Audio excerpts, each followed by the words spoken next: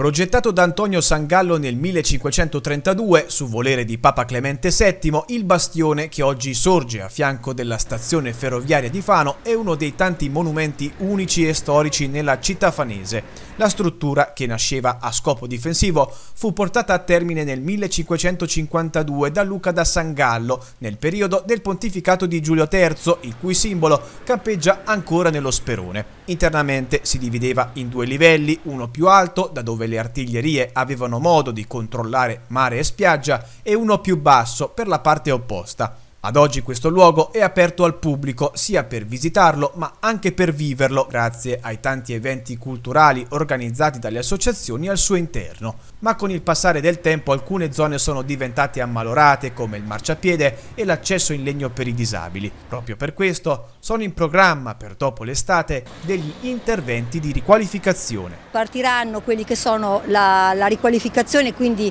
la realizzazione di tutta una nuova rampa d'accesso nella parte parte alta del bastione proprio per favorire l'accessibilità a tutte le persone con disabilità che oggi è molto ammalorata